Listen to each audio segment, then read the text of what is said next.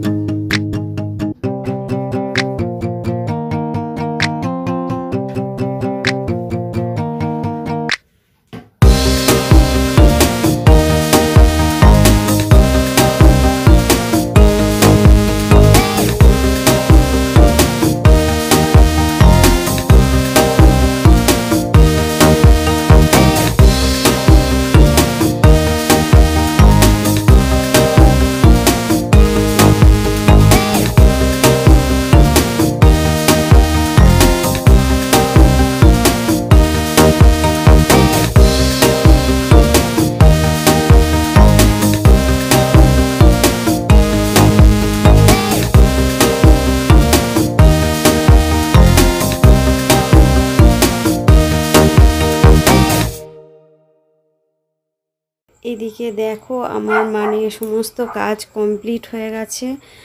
যা কাজ ছিল দেখতে পেলে, বিছানা তুলে মানে রান্নাঘরটা পরিষ্কার করেছি, ঝাঁট দেওয়া হয়ে গেছে। আর এখন লাস্ট মুহূর্তে ঘরটা মুছছি ঘরটা মুছে চলে যাব একদম চান টান করতে। সমস্ত কাজ কমপ্লিট আজকে অনেক তাড়াতাড়ি কাজ করে নিয়েছি, কারণ আজকে বৃহস্পতিবার। বৃহস্পতিবারে ঠাকুরের পুজো আছে, অনেক দেরি হবে ঘট পাল্টাবো, গোপালকে ইয়ে করব। তো তার জন্য অনেকখানি দেরি হবে বলে তাড়াতাড়ি করে সব কিছু করে নিলাম, নিয়ে এখন যাব কলতলে। কলতলে নেমে দু একটা কাচাকুচি আছে ওগুলো করে একদম চান টান করে উঠে পড়ব তো চলো, আজকে ভিডিওটা এখানেই এন্ড করে দিচ্ছি। যদি ভিডিওটা ভালো লাগে থাকে লাইক কমেন্ট শেয়ার করবে। আর কালকে দেখাবে নতুন একটা ভিডিও নিয়ে, ততক্ষণ